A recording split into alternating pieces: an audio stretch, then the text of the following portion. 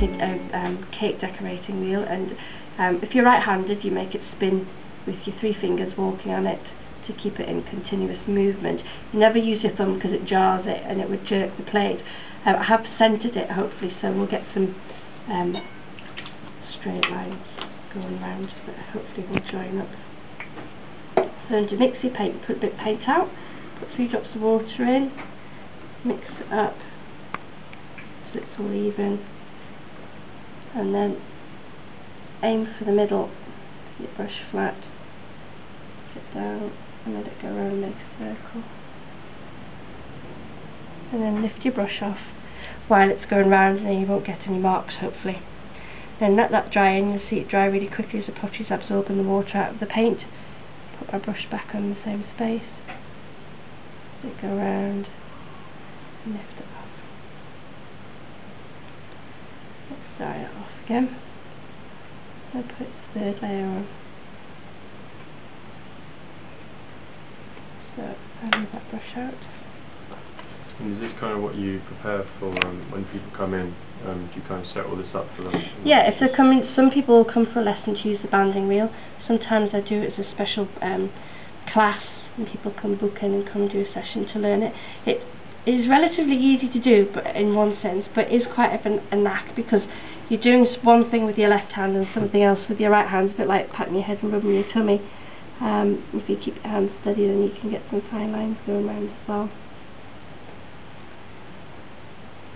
Uh, we do birthday parties. Uh, one of the packages is, is plates. So if we can we'll get the children to use the wheels because it's a good way to put an even coat of paint on. We had a party on um, Saturday afternoon and there were five year olds and there was eight of them and we had them banding on the plates not necessarily fine lines, but we're getting them to put an even coat on it. And they manage with their tiny little hands. We thought, well, if they don't, we'll pair them off, because you can do it in pairs. Obviously, one turns the wheel in while you paint your pottery, and then swap over. Um, which works well with them. But um, they, they did really well, and then they went on to put stamps and sponge patterns onto their plates. So, and their names then, of course, because then it makes all very personalised, and then I can't wait for it to get back next week. Going to have a tea off it. Um, you can, obviously you can carry on and do the rim, but um, just to give an idea of what you can do as a, a pattern, uh, let's go for, these are Kemper tools, they're just metal um, wires into shapes. You can pat them into the paint, and then you can make a pattern. Sometimes they behave nicely and they'll let you scoop the paint up so you can go on solid. Something like that. Hopefully that's quite central. Or you can knock the paint out and just have your outline on there. Oops. The thing you have to kind of accept um, with your pottery painting. It is handmade. It's never going to look as pristine as some of the pieces you'll get in the shop. And in the main, the pieces in the shop have been made using transfers, mm, so they've been yeah. put on top of the glaze and melted in, and they can wear off.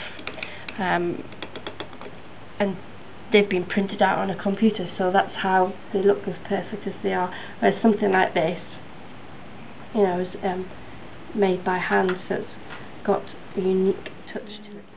Seems like something that would like calm kids down. Like it's not the sort of thing that you can go running around doing. No, you can't. It, it it always makes me laugh in the middle of a party.